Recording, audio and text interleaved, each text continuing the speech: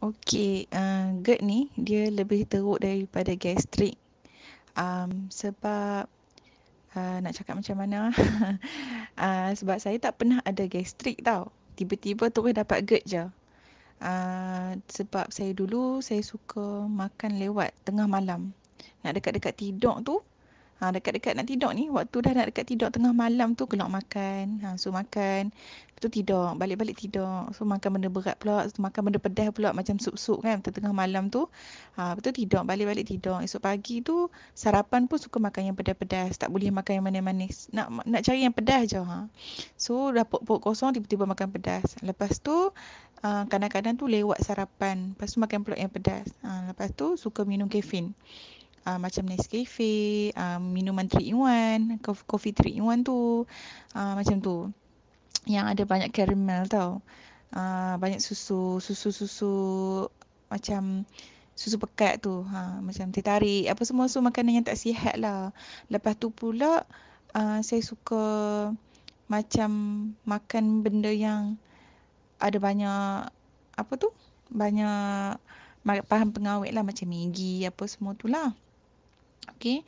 Uh, lepas tu uh, memang tak sihat lah pengambilan makanan yang tak sihat. Sebenarnya GERD ni dia bukan uh, bukanlah macam tak famous sangat. So ramai yang kena tapi orang tak tahu. Uh, sampai yang kena pergi hospital, pergi klinik pun macam contoh tiba-tiba jadi anxiety kan. Uh, sebab uh, GERD tu dia boleh uh, trigger anxiety juga.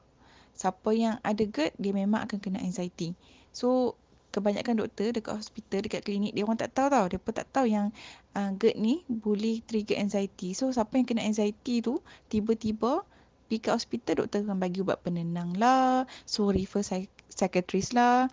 Sedangkan uh, anxiety yang jadi panic attack ni, kebanyakannya, uh, kebanyakannya disebabkan oleh GERD. Bukan ada masalah mental disorder ke, tekanan jiwa ke, gila ke, bukan uh, anxiety ni dia kita rasa nadi kita laju tau.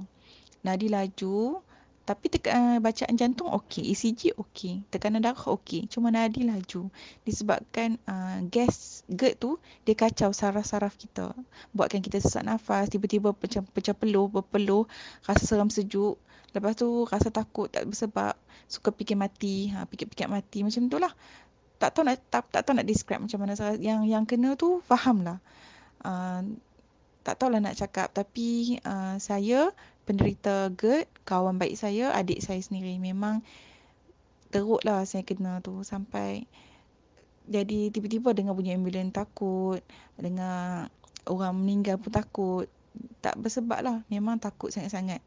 Jadi tak tentu arah ha, macam tu. Tiba-tiba nangis seorang-seorang, nangis seorang-seorang. So, Alhamdulillah lah uh, baru-baru ni sejak lepas bersalin benda tu lagi teruk lagi trigger. Maksudnya lagi teruk daripada sebelum ni. Mungkin sebab dos uh, orang kata apa ubat bius yang saya operate tu kan uh, sebab Caesar untuk an- anak yang first ni. Lepas tu lagi teruk uh, sampai saya tak boleh makan lewat sikit pun. Setiap dua jam kena makan. Dalam portion tu sikit je. Setiap dua, dua jam kena makan kena makan kena makan. Lepas tu baru-baru ni tiga empat kali saya kena pergi ambil ubat tahan sakit kena pergi inject dekat klinik sebab terlampau sakit sampai tak boleh nak berdiri tak boleh nak duduk sakit kat belah kanan perut ni sampai kat belakang. Macam lebih kurang sakit tu macam appendix tapi bukan. Ha, ni GERD. Uh, sampai tak boleh nak buat apa pun. Sangat-sangat sakit tapi Alhamdulillah lah baru-baru ni Min ada saja saya untuk ambil Radiance ni. Radiance eh. Tak tahu lah sebut nak sebut macam mana tak reti. Tapi Alhamdulillah first saya minum tu dia macam ada kesan. Dia trigger saya punya anxiety sikit. Mungkin masa tu dia tengah works kan. Dia tengah uh, tengah bekerja. Uh, Alhamdulillah kali kedua saya minum saya dapat rasa macam eh kenapa rasa hari ni perut tak pedih kan pagi kalau dah bangun-bangun pagi tu dia dah automatik dia dah sebu dekat ulu hati tu. Pedih sangat-sangat. Ha, Alhamdulillah hari kedua tu tak rasa. Ha, lepas tu yang ketiga hari ni Alhamdulillah saya cuba saya minum-minum. Saya select breakfast pukul 9.30 pagi.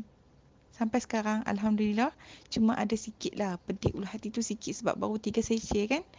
Ha, itulah tak sabar nak order yang baru ni. InsyaAllah mudah-mudahan Mudah-mudahan Allah Ta'ala bagi kesembuhan saya sebab guna Redens ni. InsyaAllah, insyaAllah. Thank you Min. Thank you Min. Allah hantar Min jumpa dengan Rehan. Alhamdulillah sangat.